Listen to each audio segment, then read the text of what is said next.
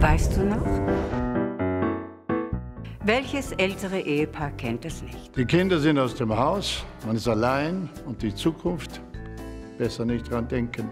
Marianne und Günther, das von uns gespielte Ehepaar, die haben sich daran gewöhnt.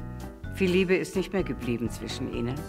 Stattdessen herrscht jeden Tag die gleiche Routine. Und seit einiger Zeit beginnt auch noch Günthers Gedächtnis Also nachzulassen. Günther nicht, also deine Marianne wird ja wohl auch immer schusseliger und vergesslicher. Ja, ja, wie auch immer. Jedenfalls hat Günther nun auch noch den Hochzeitstag vergessen. Nein, hat er eben nicht. Er hat seinen Freund Heinz getroffen und der hat ihm zwei von jenen Wunderpillen besorgt, die er selbst schon ausprobiert hat. Und eine Pille, die auf verblüffende Weise die Erinnerungen zurückbringen soll.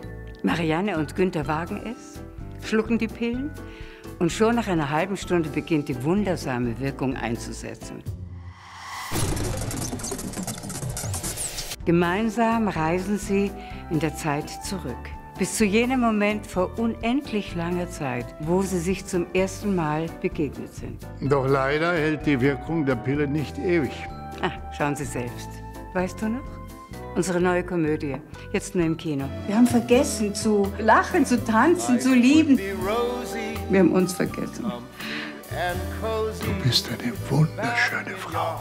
Dass du mir das noch einmal sagst. Oh, Günther! Oh, how I've missed you.